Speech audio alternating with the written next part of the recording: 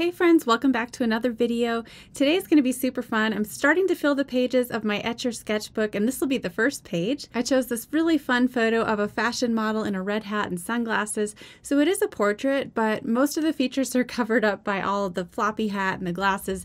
So it should be pretty simple to draw and just basic portrait colors. If you're just dipping your toes into portraits, this will be a great one to get started with. So let me show you the supplies I have today. I'll be using my Etchr sketchbook. You can see I already hand painted painted the cover. There is a video about how I did that if you're interested. Because it is a canvas fabric cover, it requires some special prep if you want to use watercolor on it. And right here on the very first page, I've already applied some tape around the edges. This is just some washi tape, just so I have pretty borders and can keep track of where my composition is. So to start out, it's helpful to decide where you want your composition to be, the placement of everything, and you can even do your drawing ahead of time and then transfer it to your journal. However, I really like the spontaneity and the challenge of trying to get the sketch down on the first pass.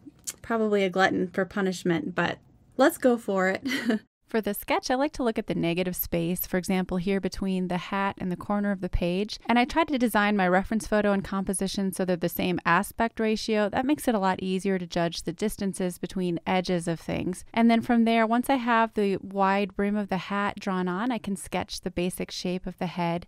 Try to Measure distances between the edge of your paper and the edge of the ear, and from one ear to the side of the cheek, and look at the different angles. For example, I had to adjust the brim of the hat there, erase it, and start over again because the corner of the mouth was too far away from the hat. So, those are little distances you're going to be looking at when you do the sketch. Once you have the rough shapes in, then you can go in with bolder marks, and from there, you can really tighten up your drawing and make sure that everything is accurate. I do try to sketch lightly generally. I sketched a little darker on this one so you guys could see all of my marks a little bit better. But for the most part, when I do a watercolor painting, I want to do my pencil sketches really lightly, especially in areas that are lighter in value, like the brim of the hat and the skin itself. They're very, very light. So just be careful that you're not pressing too hard. Pressing too hard can also leave imprints in your paper where the paint can puddle and pool, so just watch out for that. Here I'm sketching the hair, just studying my reference photo really closely and trying to capture the general direction and movement and flow of the hair. And I want to smooth out the neck and make it just a little skinnier. I made it too wide in my initial sketch. Then the last thing I generally sketch are the facial features. I want to make sure they're located in the right place. And again, trying not to press too hard with my pencil, I do indicate the shadow underneath the brim of the hat, the cheekbone, and the collarbone. All right, so we're going to start with wet and wet. Even though this is hot pressed paper, wet and wet can still work really beautifully, especially if you work in small sections. So I'm beginning with the background with some nice light washes of Hansa Yellow Light, and I do this on the top portion as well. I don't want to go too dark or bold with the background. It's very muted. Now to create a nice earthy green, I mix ultramarine blue and a warm yellow. This is Gamboge Nova. And this little sliver of background just above her hat and below, I'm painting those just a little bit darker with some natural looking greens. Next for the hat, I'm going to start with wet and wet again, carefully painting with clean water, but avoiding the white brim of the hat. I'm just painting in the area that's going to be red. For my red, I'm choosing a warm red. This is Scarlet Lake by Holbein, but you could also use a cadmium red light or something like that. And you can see when you wet the paper first, your paint will disperse so beautifully and evenly across the surface of the paper. My brush, by the way, is a Trekell size 6 synthetic round brush.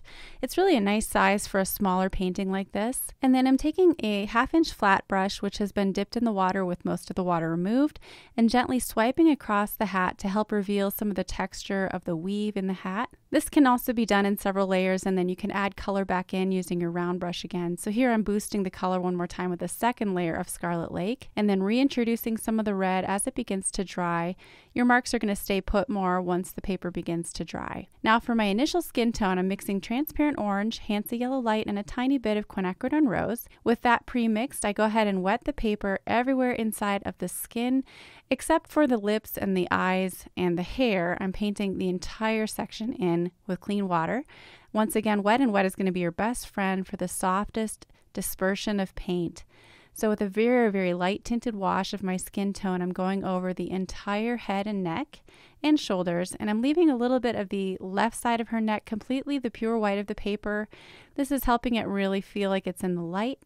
And as it's beginning to dry, you don't want it to dry too much before you miss out on the opportunity to do some wet and wet by increasing the darkness of her cheeks and boosting the shadow tone underneath the hat. For this, I'm just mixing a darker version of my same skin tone with transparent orange, a little bit of yellow. I'm also introducing a little bit of burnt sienna in and painting a first layer for the hair that's overlapping her mouth.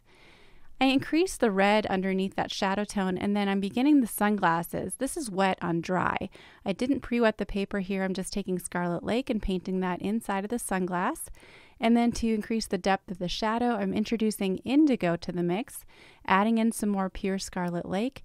And while that's still wet, I'm going to rework the entire area by taking my damp brush and blending the two colors seamlessly together.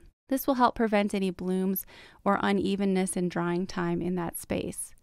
I'm also darkening the shadow underneath the sunglasses using burnt sienna and right underneath the ear. Now, if this video is moving too fast for you, I wanted to let you know that the full-length real-time version of this tutorial is available through my Watercolor Mastery membership. The monthly membership includes over 100 narrated watercolor tutorials, including a comprehensive 30-day course just for beginners. There are lessons on painting skin tones and fur texture, and tons of fun painting projects for all levels. Many of the tutorials include drawing instruction, but they each come with a downloadable reference photo, traceable line drawing, and a complete list of supplies. I'll leave a link in the description below so you guys can check that out. All right, let's get back to the video. With that indigo mixture, I've also mixed in a little bit of red with it, so it's almost this dark purple. I'm beginning to paint some shadow tones in the hair. My main color for the hair is transparent brown oxide. This is a Daniel Smith color, and you can see there are wonderful different values and shades you can create with just this single tone, and it's almost the perfect color to match the reference photo. Try to leave little gaps in your brush strokes indicating some of the highlights in the hair, and while that's drying, I'm going on to the lips, once again using my Scarlet Lake, pretty much painting them in solid, except for several tiny little highlights where the lipstick looks really shiny. With the lips in, it's really beginning to look like a portrait. Next, I take some more shadow tones. This is a mixture of indigo and transparent brown oxide to create black, and I'm painting the dark shadow shapes all within the hair.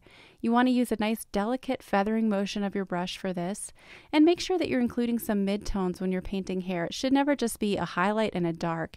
You want to have a nice variety of values within the hair so that it looks more realistic. For the facial features like the nostrils and mouth, just use a nice dark color with a little bit of red in it so that it's a warm dark rather than cool. And then if you do want to introduce some cool pops of color, you can use a nice blue like Core Phthalo Blue, that's what I'm using here, but a very light tinted wash. Don't go too dark with these. And I'm using that color to just go over some of the skin, the background, and the brim of the hat. Now I wanted to increase the redness of her cheek one more time, so this is best done with wet and wet.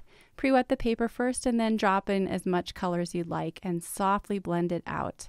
And as a final detail, I'm adding some more red streaks to that woven texture in the hat. So that it looks nice and smooth, I'm just taking a damp brush and going over those brush strokes, helping it appear more blended and soft. One more layer in the background and then you can remove the tape. And because it's hot press paper, gotta be so gentle. Mine's tearing just a little bit. There we go. There is our finished fashion model with her elegant droopy hat. This one was super fun to paint for you guys. Let me know in the comments what you think if you'd like to see more subject matter like this. As I said, if you're just getting into portraits, this is a great one to start with. Thanks for watching and I'll see you again soon.